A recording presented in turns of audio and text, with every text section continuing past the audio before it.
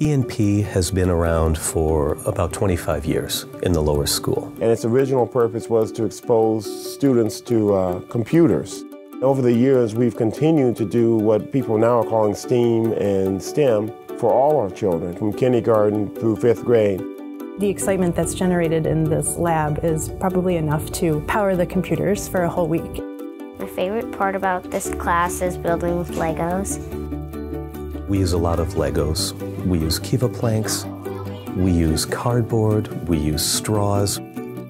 On the programming side of the ENP lab, we use Scratch. It's a fantastic programming language where you snap blocks of code together. It's like an easier way of building code so younger kids can do it too. You can make a flower bloom without a stem. I made a little character called Pico from space. I like ENP because it's so fun and we always get to do fun things. And this is an LED miniature light bulb and the way you get it to work is that, for example, you can take one of these batteries and then if you put it in the right spot, then it starts glowing like this.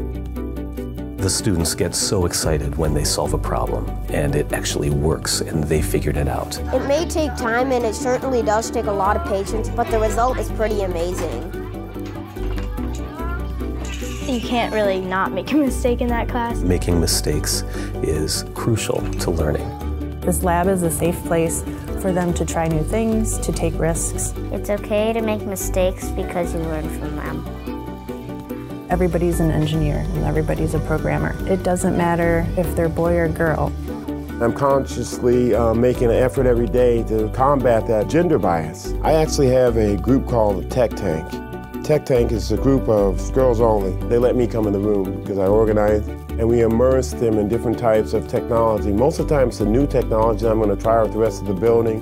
I would like to think that students who come out of the lab will at least have an awareness that when they're using any program on any device, there are human beings who have programmed this, and it's not just some magical piece of technology or a robot. It feels amazing to learn this when you're at such a young age. I feel very lucky to be going to the school.